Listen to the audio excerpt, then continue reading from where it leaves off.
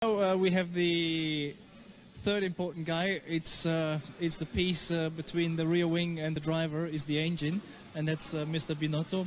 I like to introduce uh, to you. He's the engine engineer and now the sort of uh, head of uh, of the group of engine, Mr. Binotto. And maybe you explain a little bit on what you do at the car during a race weekend and so on.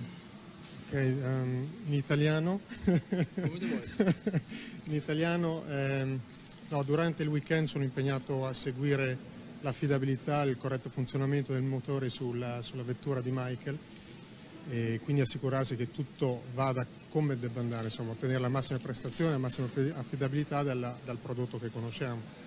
E quindi assieme a lui è importante che noi collochiamo per garantire il corretto funzionamento dell'insieme. Esatto. Grazie e ci vediamo per la meeting. eh? No, no, dopo. eh? Ok. So this was my uh, three most important people. They're working very close to me. Little introduction, and I guess uh, the program will.